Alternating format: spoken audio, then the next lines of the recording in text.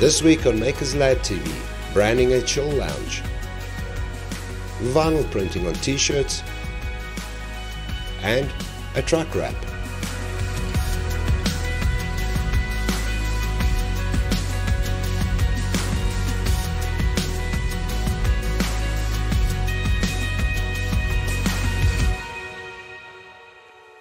client approached me wanting to opening up a very vintage looking, nostalgic looking venue. Uh, that being said, we had to go with a theme, and the theme we chose was Mary Jane's.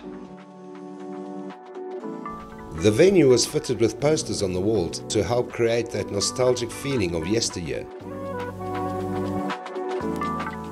And licensed disc stickers were randomly stuck all over the place and even handed out for promotional purposes. For the entrance stamp, Riley came up with a unique design that suited the theme perfectly. It's quite amazing what one can do with these laser machines from AM. Very cool. Using the engraver, I also cut out a stencil of the cannabis leaf, which they then applied to the floor with spray paint, leaving a very cool pattern effect on the floor.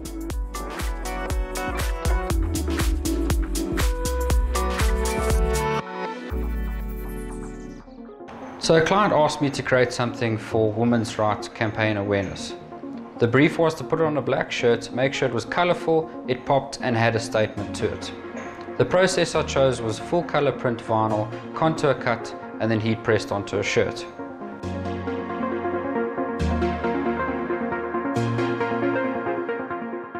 Riley chose the standard vinyl for cotton t-shirts and used Eco Solvent ink for printing. Using a 45 degree blade, the design was then cut out on the vinyl cutter and weeded.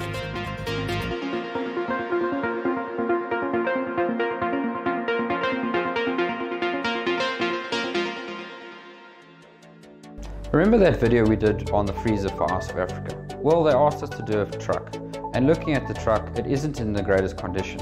Instead of buying a new truck and wrapping it, it'll be a lot easier for them and cost effective if we did it on this old truck. Make it look as good as new as best as we can.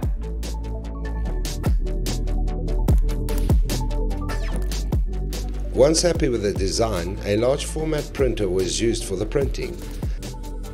And the print was then laminated to give the final product that extra protection against the elements.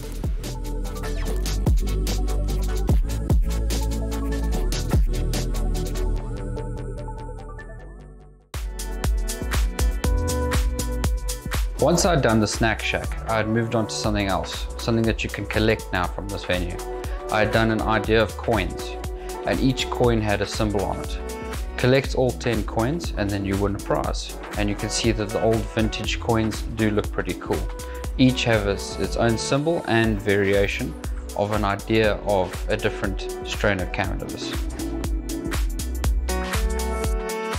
With the PVC banner that we did inside on the staircase, we had to try and keep it dark but not too bright and to make sure that when people arrived they knew where they were. And that being said, we went for a nice army green with a mottled yellow effect with the logo popping in the middle. All done with the large format printer. For the outside sign, to make sure that people knew where they were going, we had to use vibrant colors to make sure it was popping out so people could see it which worked great with our new three-year ink from AM.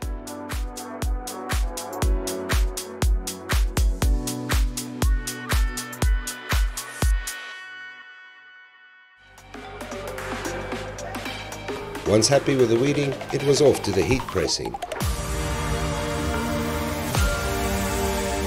And boom, an explosion of colors on a black t-shirt always looks great.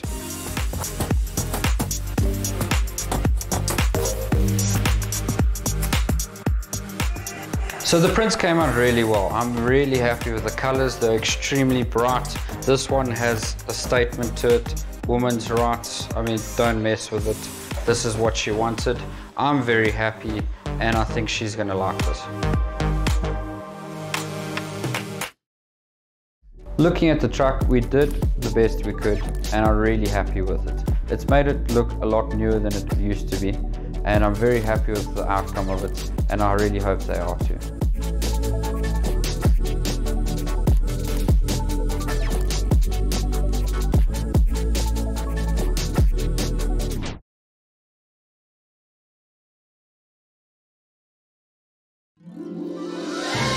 In 2020, we celebrate eight years in business, heading toward infinity and beyond. am.co.za. Achievement matters.